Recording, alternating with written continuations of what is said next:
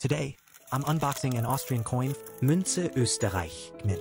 This coin is space-themed and is the second release in the Beauty of the Universe series. It's titled Einstein Ring and has a face value of 20 euros.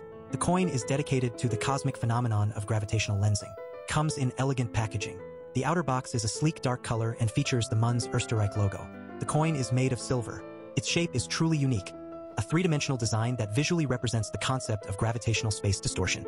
As you can see, the coin isn't flat, it has a complex, wavy surface, making it a real masterpiece of modern minting art. On the obverse, you'll find a visualization of gravitational distortion forming a wave that rises upward and creates an Einstein ring.